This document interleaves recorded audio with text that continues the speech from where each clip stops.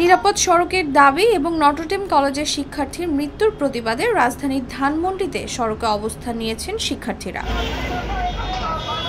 এ সময় তাদেরকে দাবি আদায়ে বিভিন্ন স্লোগান দিতে দেখা গেছে। শত শত শিক্ষার্থীর জোরালো কণ্ঠস্বরে মুখরিত হচ্ছে ওই এলাকা।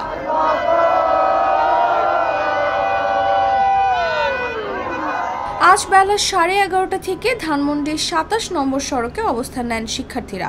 অবস্থান কর্মসূচিতে ধানমন্ডি আইডিয়াল মোহাম্মদপুর সরকারি কলেজ, কমার্স কলেজ, লালমাটিয়া মহিলা কলেজ, সরকারি বিজ্ঞান কলেজ এবং বীরশ্রেষ্ঠ নূর মোহাম্মদ কলেজ সহ আশেপাশের বিভিন্ন শিক্ষা প্রতিষ্ঠানের শিক্ষার্থীরা অংশ নিয়েছেন। আমাদের নয়টি দাবি আছে সহ বিভিন্ন দাবি সরকার নিরাপত্তা নিশ্চিত করা।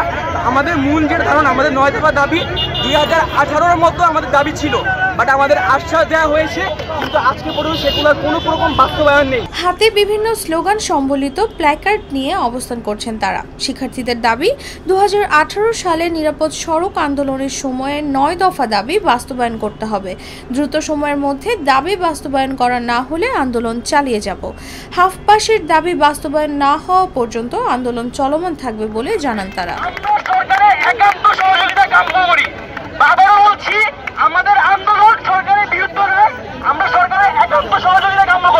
সবাইকে ধন্যবাদ